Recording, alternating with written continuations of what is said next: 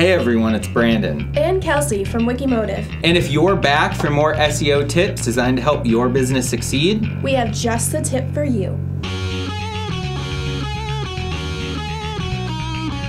In the last few weeks, we've introduced you to SEO. We've explained how your online presence generates search signals and how Google interprets those signals. And we've talked about optimizing those signals to make sure Google views you as a valuable resource. But why is any of this important? Three words expertise, authoritativeness, and trustworthiness. Google assesses websites based on those three factors. It's what helps them to serve the best results for a particular search query. You need to communicate your expertise to establish your website as a trusted authority. If you don't, Google won't recognize you as a trustworthy resource. And if you're invisible to Google, you might as well be invisible to everyone. To learn more about the three pillars of SEO, click on the link below.